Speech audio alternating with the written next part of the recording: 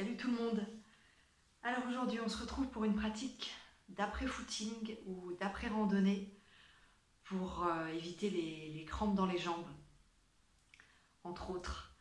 Alors on va avoir besoin de notre tapis.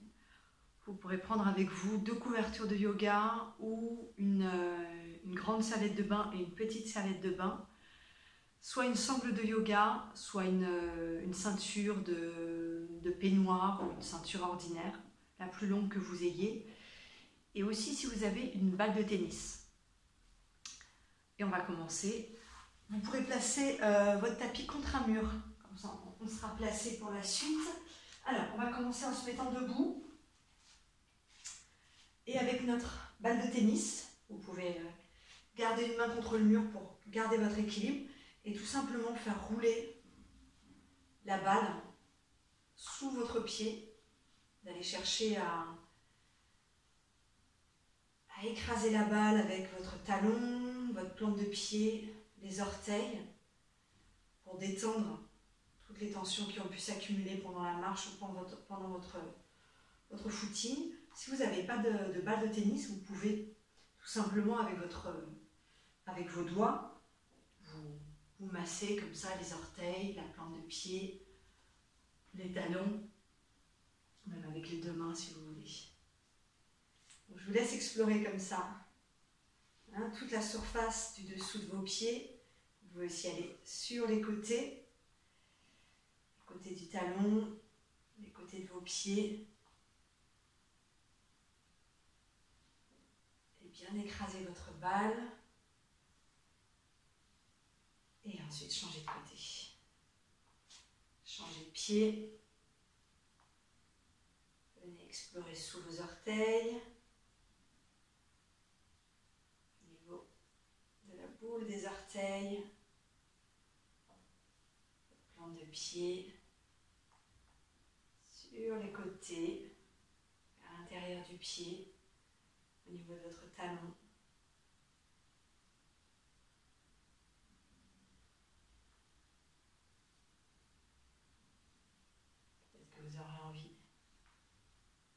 Plus doucement ou au contraire d'écraser un peu plus fortement la balle.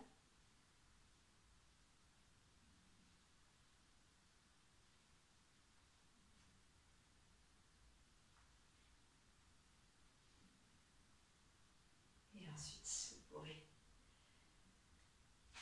enlever la balle de votre tapis et venir vous placer en virassane, les gros orteils joints, asseyez-vous sur vos talons et écartez vos genoux de façon à, laisser passer le buste entre vos jambes.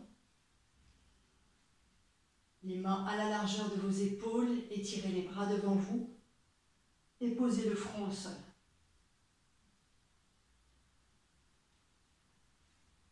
Respirez, étirez vos bras, décollez, décollez les coudes du sol et dirigez les fessiers vers les talons.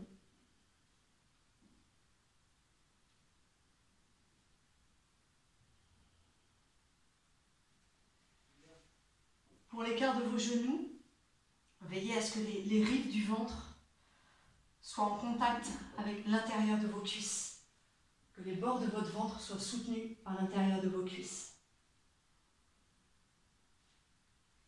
Respirez, relâchez complètement votre tête sur le sol. Relâchez le bas du dos. Relâchez vos épaules.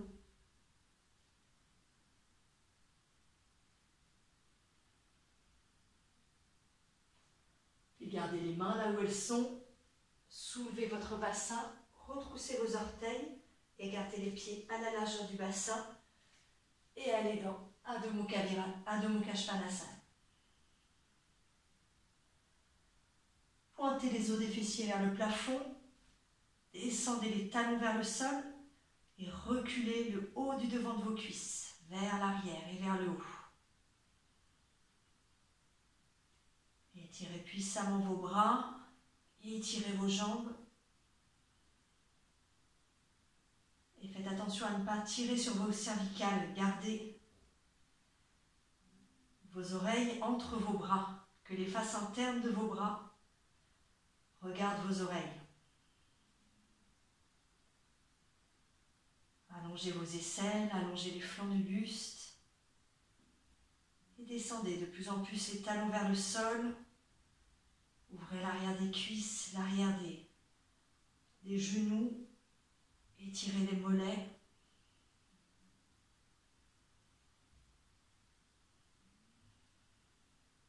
Et revenez. Revenez vous mettre debout. Redressez-vous. Et joignez vos pieds. Joignez vos pieds. Je me mets face à vous. Croisez les doigts des mains devant vous et ouvrez les paumes de main vers l'extérieur. Cherchez à presser les racines de doigts loin de vous. Et à garder ce mouvement de presser les racines de doigts loin de vous quand vous levez les bras. Levez les bras au-dessus de la tête. Gardez les plantes de pied bien ouvertes sur le sol. Montez les rotules. Cherchez à rouler le haut de vos cuisses vers l'intérieur. Et à étirer puissamment vos bras, à verrouiller vos coudes. Les racines de doigts pressent vers le plafond et ouvrez les paumes de main. Respirez.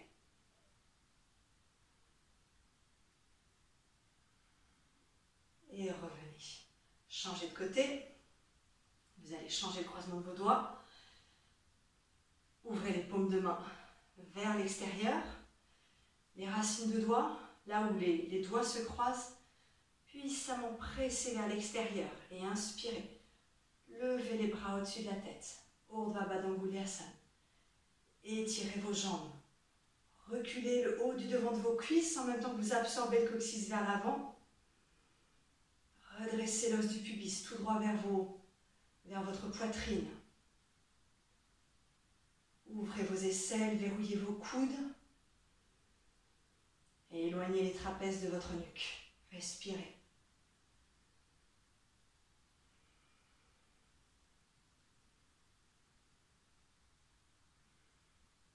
Et expirez. Baissez vos bras et décroisez vos doigts. Je reviens au centre du tapis. Alors, je vous montre pour la posture suivante. C'est une posture d'équilibre. Donc, je préfère vous la montrer une fois et ensuite euh, on la refait ensemble. La posture de, de Garudasana. On va plier franchement les jambes. Vous pourrez mettre les mains au niveau du bassin.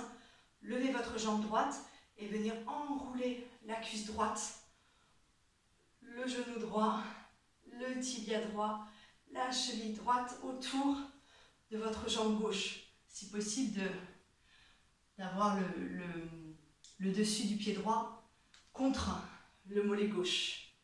Une fois là, vous allez ramener votre bassin, votre poitrine de face et ensuite glisser le bras droit sous le bras gauche et enrouler le bras droit autour du bras gauche. Les de main face à face, les doigts étirés vers le plafond et les coudes à la hauteur des épaules. On y va. On y va ensemble. Peut-être que je me mets de profil pour que vous la voyez aussi de profil. Ramenez les mains sur le bassin et pliez vos jambes. Pliez vraiment vos jambes.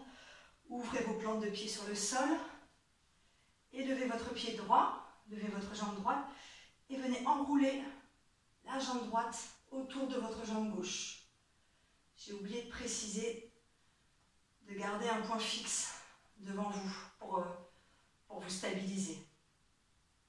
Une fois que vous êtes là, vous cherchez vraiment à enrouler le plus serré possible vos deux jambes. Ramenez le bassin, la poitrine de face et glissez le bras droit sous le bras gauche. Enroulez vos deux bras, paume de main face à face et les doigts des mains dirigés vers le plafond. Les épaules loin des oreilles et levez les coudes à la hauteur de vos épaules. Respirez. Ouvrez la plante de pied gauche sur le sol et pressez la boule du gros orteil gauche au sol pour gagner en stabilité. Respirez. Cherchez à presser les jambes l'une contre l'autre et à presser les bras l'un contre l'autre.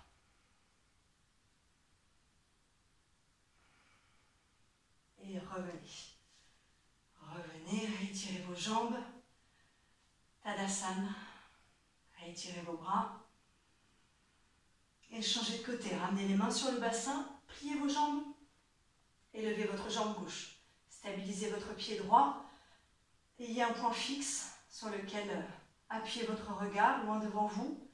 Et enroulez la jambe gauche autour de la jambe droite. Venez faire une tresse la plus serrée possible. Et si possible, les orteils du pied gauche vers l'avant.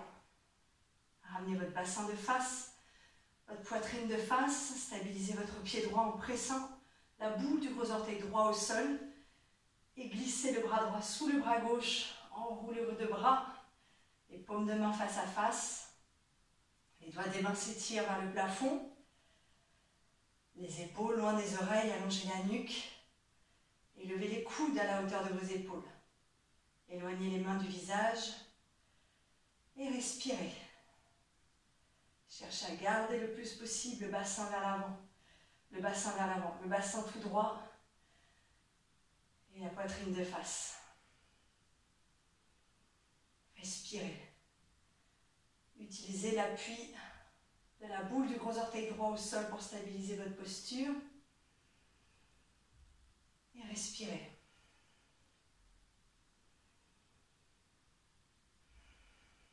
Et revenez. Libérez vos bras. Libérez vos jambes. Joignez vos pieds. Roulez les épaules en arrière. Tadasana. Montez la poitrine.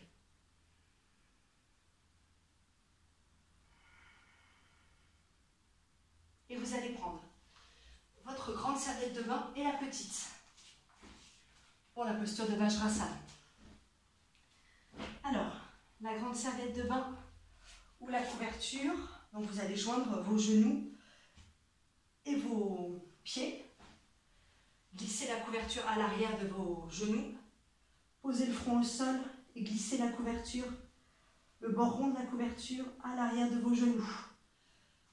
Hein, ayez suffisamment de hauteur à l'arrière de vos genoux, d'épaisseur à l'arrière de vos genoux pour créer de l'espace dans les genoux. Là, n'hésitez pas s'il y a besoin d'un peu plus de hauteur, hein, ça fait mal aux genoux, d'avoir un petit peu plus de hauteur sous les fessiers ou alors carrément de grosses serviettes ou de grosses couvertures. Une fois là, vous allez retrousser les orteils, garder les pieds joints, retrousser les orteils de façon à vous retrouver Hein, sur le dessous de vos orteils et venez vous asseoir quelques instants comme ça pour euh, assouplir, détendre les plantes de pied, les orteils. Pouvez ramener les mains sur les cuisses et chercher vraiment à ramener le poids des fessiers sur les talons de façon à assouplir vos pieds. Possible que ce soit assez douloureux. J'ai les pieds comme ça.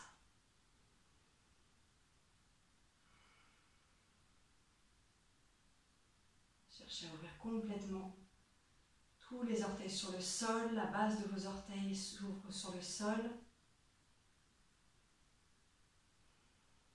Et revenez, revenez. Et maintenant, étirez le dessus des pieds sur le sol, les orteils tout droit vers l'arrière. Si vous sentez que le, dessus de vos pieds, au niveau du coup pied, que cet espace-là n'est pas en contact avec le sol et qui va créer des, tensions, dans ces cas-là, vous glissez la petite couverture, la petite serviette à l'avant de vos chevilles, à l'avant de vos coups de pied. Et vous allez croiser les doigts des mains dans le dos, roulez vos épaules en arrière, Étirez les bras et éloignez les mains du bassin. je suis un peu gênée par le mur. Hop là. Voilà, étirez les bras et commencez à éloigner les mains du bassin gardant la poitrine montée et le nombril vers la colonne vertébrale. Ne projetez pas les côtes inférieures vers l'avant. Ni ne creusez le bas du dos. Cherchez à verticaliser vos omoplates en absorbant le haut et le bas des omoplates.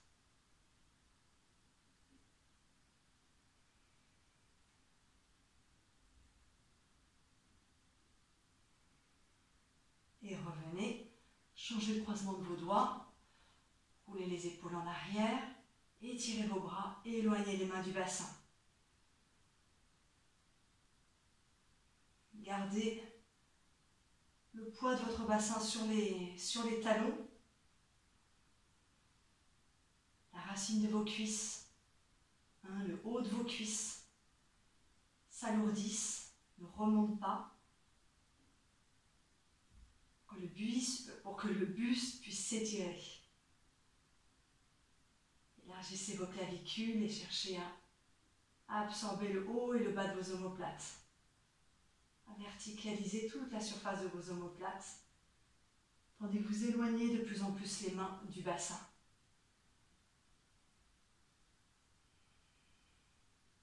Et revenez. Ramenez les mains devant vous, changez à nouveau le croisement des doigts. Ouvrez les paumes de main vers l'extérieur, comme on a fait debout. Pressez les racines de doigts loin de vous et inspirez. Levez les bras au-dessus de la tête en gardant le nombril vers la colonne vertébrale le bas du dos large. Là aussi, ne laissez pas le haut de vos cuisses, la racine de vos cuisses remonter, gardez le haut de vos cuisses lourd vers le sol. Allongez vos aisselles, verrouillez vos coudes, ouvrez les paumes de main. Et gardez le visage de face, la nuque dans le prolongement de votre colonne vertébrale.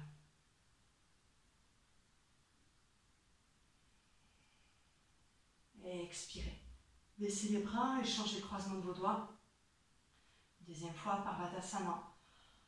En Vajrasana, ouvrez les paumes de main vers l'extérieur. Et inspirez. Étirez les bras au-dessus de la tête. Gardez le nombril dirigé vers la colonne vertébrale. Ne projetez pas les côtes inférieures vers l'avant. Ouvrez, élargissez, étirez de plus en plus vos aisselles. Et verrouillez vos coudes au point que, que vos bras viennent en contact avec vos oreilles. Loin de la nuque.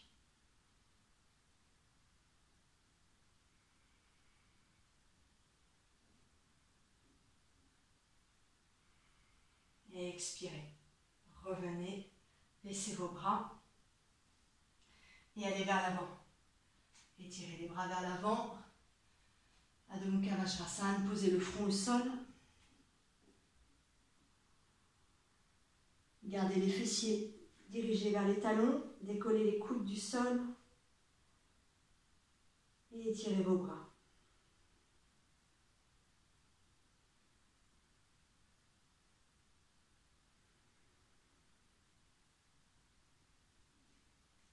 aussi, cherchez à allonger vos aisselles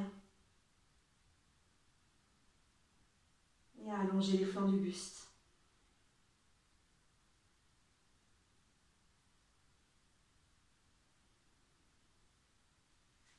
Ramenez les mains sous les épaules et déroulez toute la colonne vertébrale. Vous pourrez retirer vos couvertures et étirer les jambes devant vous quelques instants sur les genoux.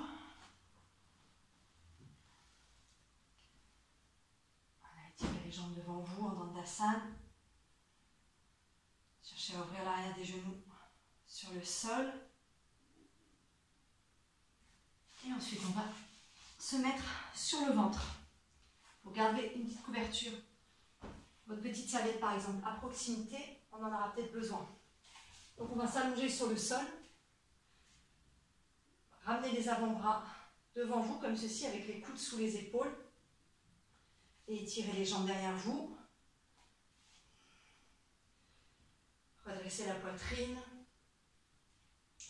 Et là, si vous sentez que le haut de vos cuisses, hein, au niveau du pli de la cuisse, ce qu'on appelle les ailes frontales, cet espace est creux et ne touche pas, n'est pas en contact avec le sol, dans ces cas-là, vous glisserez l'épaisseur dont vous avez besoin de façon à ce que cet espace des ailes frontales soit soutenu. vous allez plier votre jambe droite et avec la main droite, pressez le dessus du pied droit pour ramener la fesse droite à l'extérieur de votre fesse, euh, votre talon droit à l'extérieur de votre fesse droite. Continuez d'étirer la jambe gauche au sol, le dessus du pied gauche presse le sol. Et avec votre avant-bras gauche sur le sol, redressez-vous. Si vous avez des douleurs dans les genoux, allez-y gentiment hein, si vous en avez. On peut aussi rester là si vous voyez que ça, que pour le genou, c'est pas possible d'aller plus loin. Respirez. Et Kapada Bekasana. Détendez complètement les fessiers. Et changez de côté. Ramenez la jambe droite au sol, pliez votre jambe gauche et venez presser le dessus du pied, le dessus des orteils. Avec la main gauche, ramenez le talon gauche à l'extérieur de votre fesse gauche. Pressez votre avant-bras droit sur le sol pour redresser la poitrine. Gardez le dessus du pied droit en contact avec le sol. Les fessiers loin du bas du dos et le coccyx vers le sol. Respirez.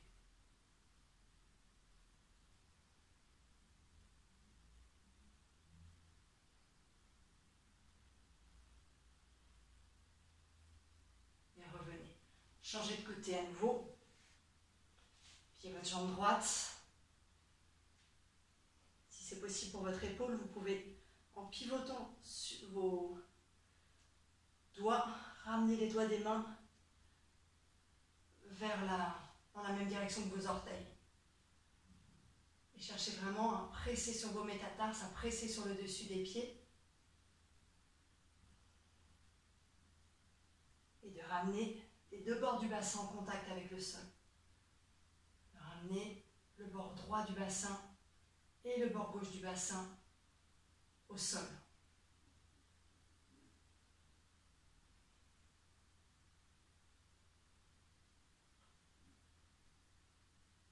Et revenez. Dernier côté.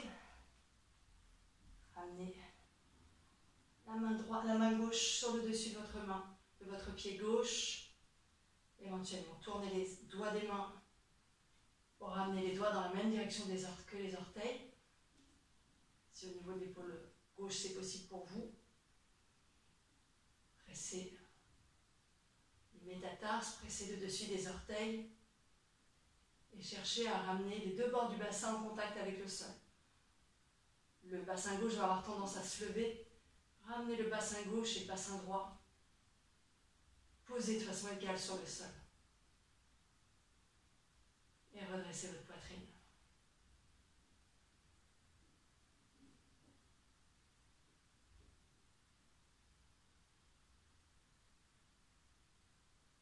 Et revenez. Retirez vos deux jambes. Et tournez-vous sur le dos cette fois-ci. Et prenez votre, votre sangle, votre ceinture de peignoir. Et allongez-vous. Les jambes pliées pour Supta 1. Les jambes pliées, allongez la nuque, dégagez, éloignez les fessiers du bas du dos et étirez vos deux jambes. Cherchez à ramener vos plantes de pied en contact avec le mur. Les pieds à la largeur du bassin. Pliez votre jambe droite, ramenez-la vers vous et placez la sangle à l'avant de votre talon droit. Vous pouvez enrouler comme ça la sangle autour de vos mains et étirer la jambe tout droit vers le plafond. Étirez la jambe droite tout droit vers le plafond. De sorte à créer un angle de 90 degrés. Si dans cette configuration-là, vous vous retrouvez avec votre jambe complètement pliée, dans ces cas-là, allez chercher plus de longueur dans votre sangle. Étendez votre jambe si elle est aux alentours de 60 degrés sera très bien aussi. Ce qu'on cherche, c'est l'étirement intense des deux jambes. Une fois là, étirez vos deux jambes, ouvrez vos plantes de pied, étirez vos talons, étirez le talon gauche en direction du mur et le talon droit en direction du plafond. Cherchez à allonger l'arrière de vos jambes. Roulez le haut de vos cuisses vers l'intérieur.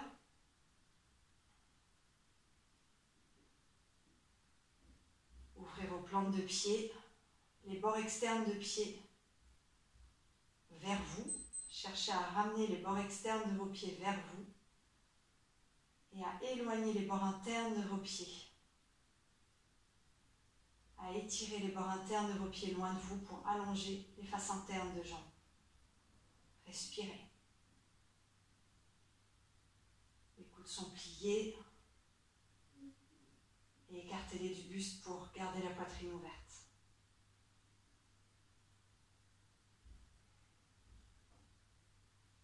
Et revenez.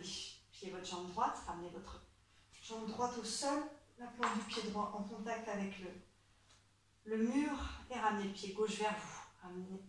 Placez la sangle à l'avant du talon gauche et étirez la jambe.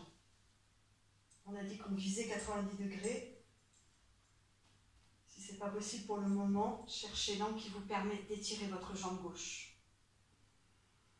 Prenez suffisamment de longueur de sangle pour avoir les épaules au sol Commencez à ouvrir vos plantes de pied. Pressez le talon droit dans le sol. Étirez le talon gauche vers le plafond. Créez de la longueur dans l'arrière de vos jambes. Retroussez les bords externes de vos pieds vers le bassin. Et allongez les bords internes de vos pieds loin de vous façon à ouvrir les plantes de pied. Toute la plante de pied droit soit en contact avec le mur et toute la plante de pied gauche soit ouverte comme si elle soutenait le plafond. Et étirez vos deux jambes. Montez les rotules, ouvrez l'arrière des genoux et respirez.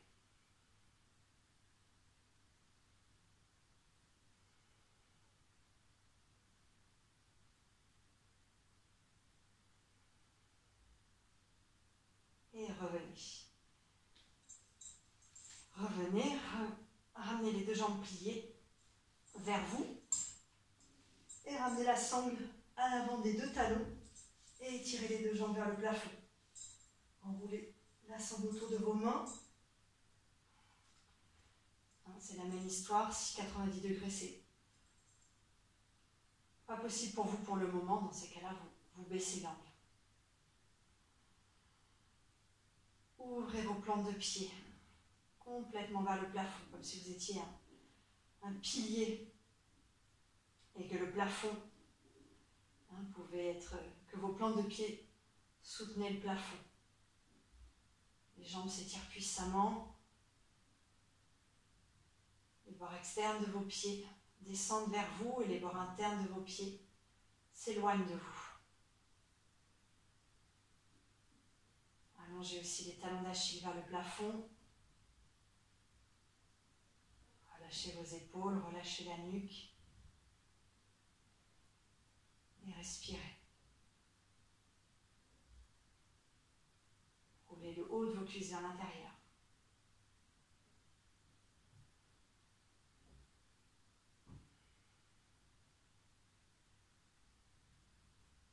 La posture d'Urdhva Prasarita Padasana. et revenez. Les jambes vers vous. Quelques instants. Croisez les doigts des mains sur les tibias.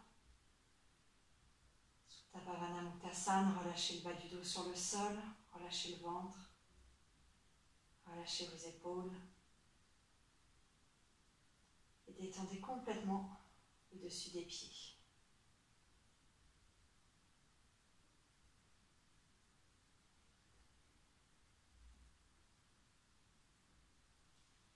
Tournez-vous sur le côté droit du corps. Alors, je vais vous tourner le dos pour Chatara Parivartanasana. Vous allez vous allonger, les jambes pliées et les bras en croix.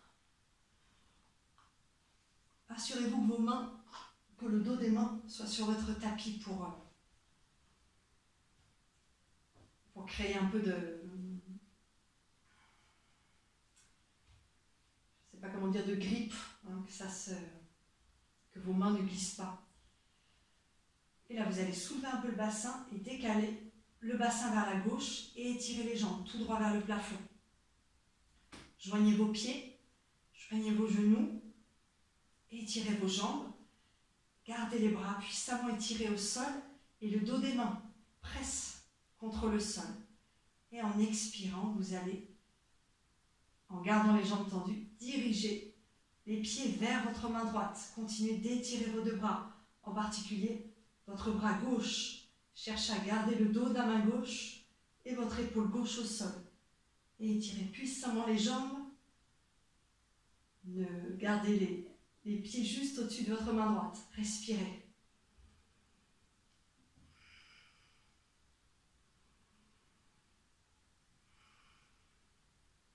Continuez d'étirer vos deux bras, d'étirer vos deux jambes.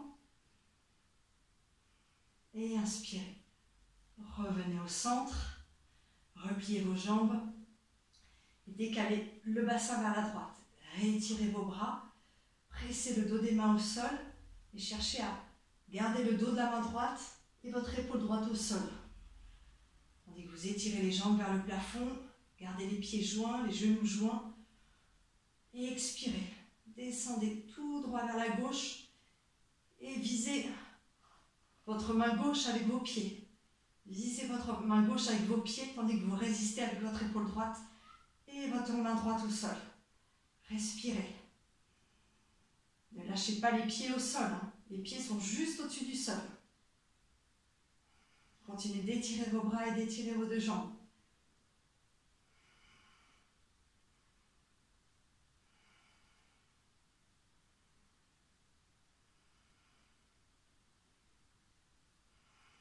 Et inspirez. Et étirez vos jambes et revenez au milieu. Ramenez les pieds au sol.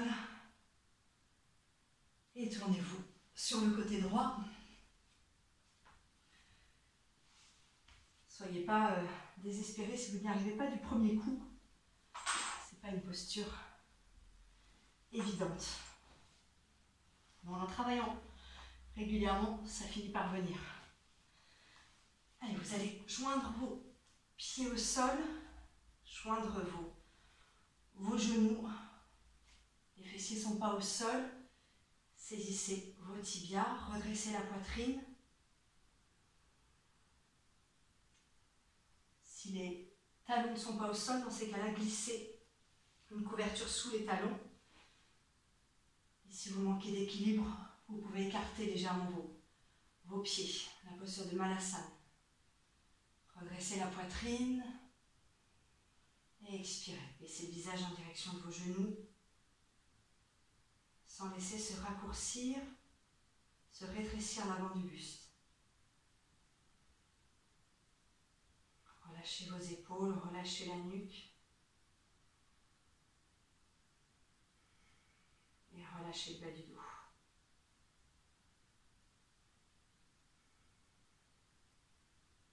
Ça se voit peut-être pas sur la, sur la vidéo, mais j'ai pas les fessiers au sol.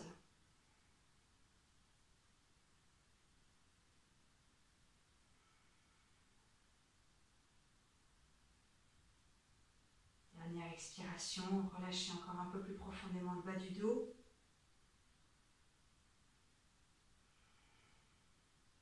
Et revenez. Revenez, reprenez votre grande serviette ou votre couverture de façon à former une longue bande que vous placerez au ras du sol. Et on va s'asseoir, les fessiers en contact avec le mur et ramener les jambes au mur.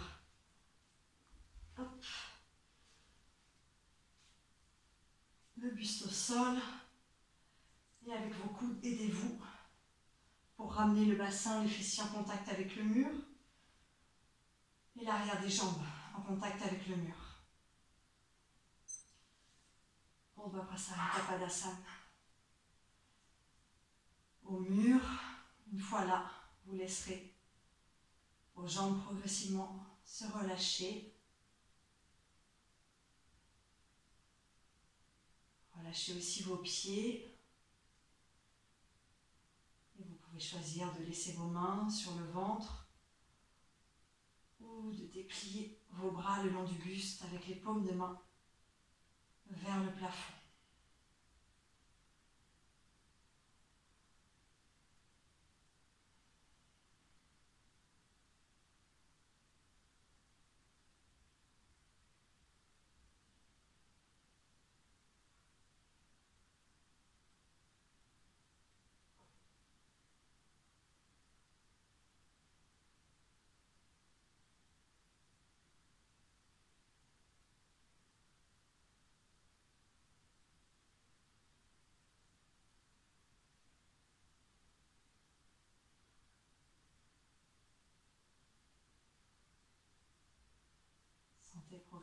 L'énergie des jambes. Se diriger vers le bassin. Se diffuser. S'infuser dans le corps tout entier.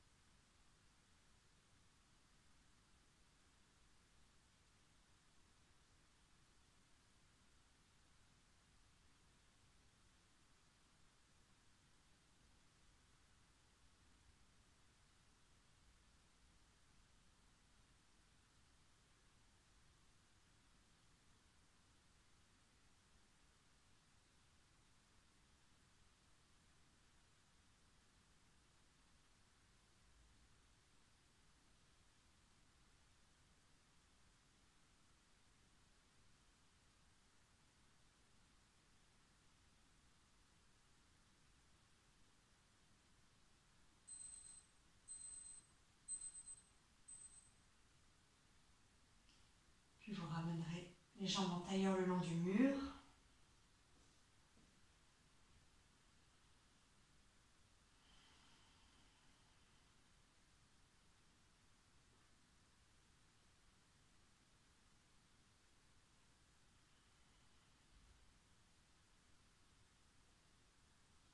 Étirez les jambes le long du mur et changez le croisement de vos jambes.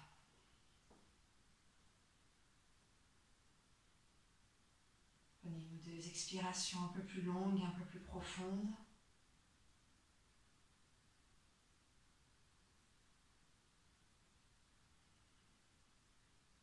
Relâchez les dernières tensions.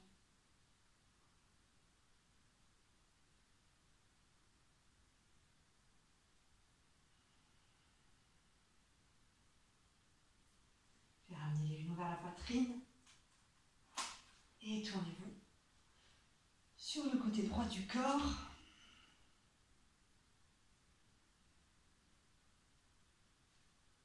Et ensuite, vous pourrez revenir vous asseoir. Je vous laisse euh, le loisir, le plaisir de, de faire quelques minutes de Shavasana. Et je vous laisse là. À très bientôt.